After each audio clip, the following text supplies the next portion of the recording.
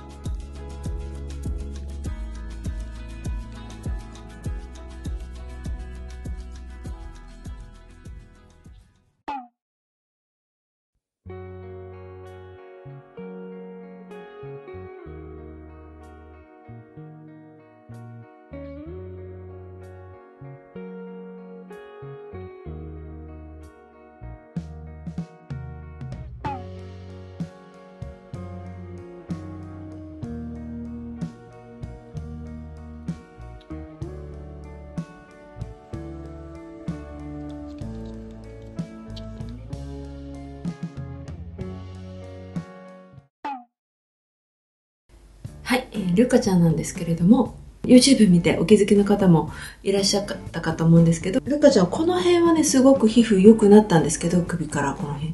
ちょうどね足の付け根のここと反対のこっち側にできた出来物がですねなかなか良くならなくていつも、えっと、見ていただいてる先生と別のあの先生にも見ていただきました。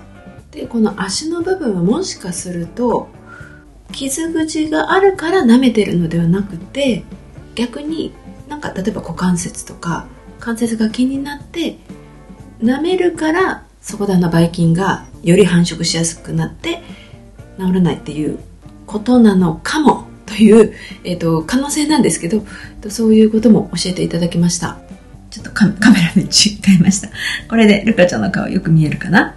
はい。なので、えっ、ー、と、一応ですねえっ、ー、と、関節に効くサプリを、え、ー、と、始めました。こういうものです。これを、えっ、と、毎日、まあ、サプリなので、そんな即効性はないんですけど、1ヶ月ぐらい続けて様子を見ようという感じです。まちょっとね、えっと、やっぱり舐めるとどうしても唾液で雑菌が増えちゃうので、傷口舐めないようにということで傷口を隠せるロンパースを着てます。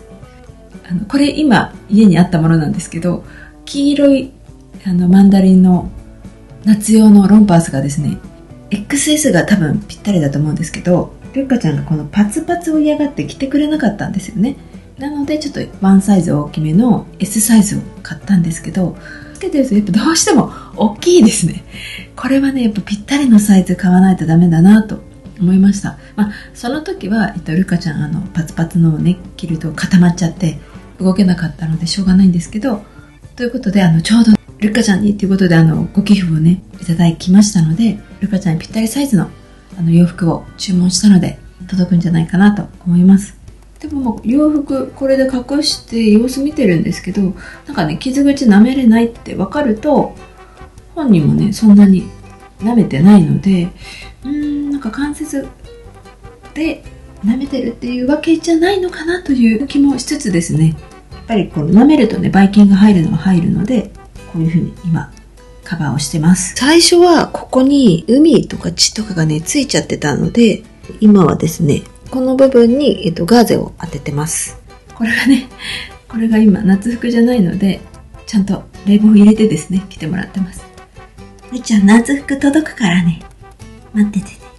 まだまだ暑いもんねしばらくね。でも本当はあの足まで着せる洋服が最初は全く着れなくて固まってたんですけどちょっと大きめのゆったりサイズが着れるようになって。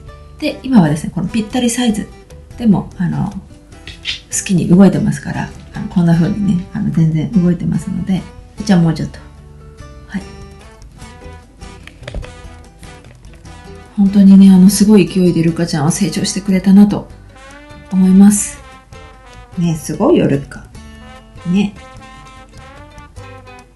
なのでちょっとこれからあの洋服を着てるシーンが増えるかと思うんですがしばらくあの傷口をね舐めないように洋服で対応しようかなと思ってます。ねるちゃん。ねかわいい。お耳がね本当に可愛いですよね。でも、あ、でも目もね、鼻も、全部、全部可愛いです。ね。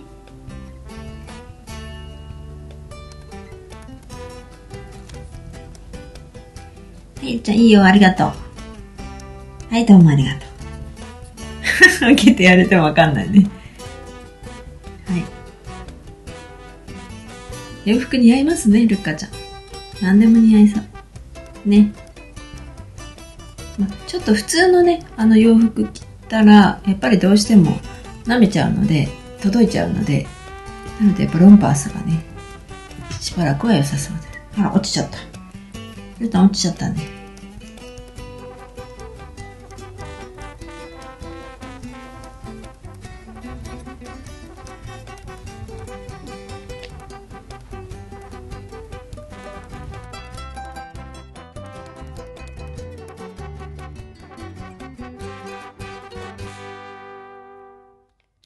るちゃん。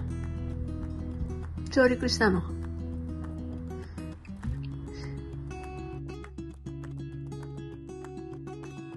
ほんのに少しまだね、あの、慣れてる途中なんですけど、最初よりは嫌がらずに、あの、来て動けるようになりました。